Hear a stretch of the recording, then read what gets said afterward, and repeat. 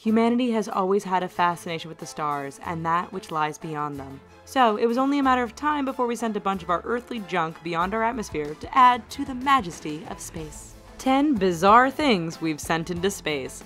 Luke Skywalker's original lightsaber. In 2007, for two whole weeks, a space shuttle carried a lightsaber. Not just any lightsaber either, but Luke's original lightsaber held by Mark Hamill in 1983's Star Wars Return of the Jedi. This piece of cinema history was escorted onto its shuttlecraft by no less than three stormtroopers. How cool is that? Amelia Earhart's scarf and watch. Some families just have the spirit of adventure inside them, and it is readily apparent in the descendants of Amelia Earhart. In 2009, Earhart's grandson, astronaut Randy Bresnik, carried her scarf into space. A year later, acclaimed female pilot and member of the 99s, Sharon Walker, carried the adventurer's timepiece out of orbit. Playboy. In 1969, NASA launched its second manned mission to the moon, and with it, some very sexy stowaways. One of the tech crews sneakily inserted Playboy spreads into the astronauts' checklists, which are attached to their wrists, along with the caption, See any interesting peaks and valleys?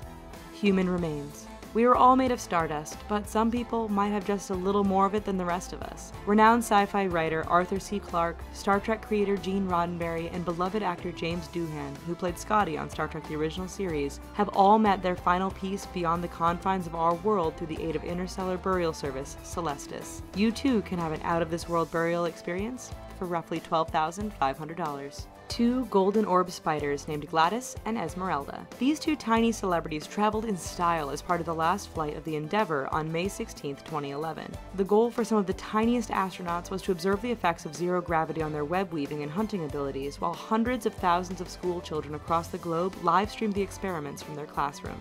Pizza. Pizza Hut paid nearly 750,000 pounds in 2000 to become the first company to deliver pizza to space to Russian cosmonaut Yuri Usachov. I sure hope you remember to tip.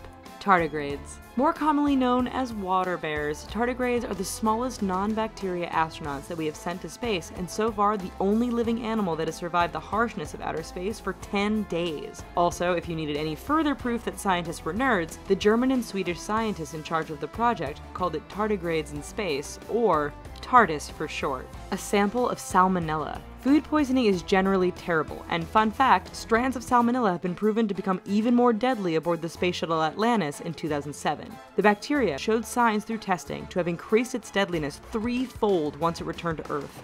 Gross! All sorts of sperm. Okay, we have sent a lot of sperm into space. Everything from bulges to sea urchin splooge. We have checked to see if low gravity levels would affect its potency, and lo and behold, it has. Almost every sample of animal procreant that we have ejected from our planet behaves differently when beyond our orbit. Well, except for one. Cockroaches procreate in exactly the same manner in space, so that's awesome. A corned beef sandwich. John Young was not thrilled about the dehydrated space chow and tang provided on the 1965 Gemini 3 mission, so he decided to bag his own lunch from his favorite deli. NASA has a strict rule against most messy Earth foods, as crumbs from said delicacy could lodge themselves inside of sensitive equipment and cause a deliciously deadly disaster. As time goes on, we're sure to spend more weird things into space. But for now, these are my weirdest. We hope you enjoyed this video. For more videos like this one, check out our main page, and don't forget to click subscribe. Thanks!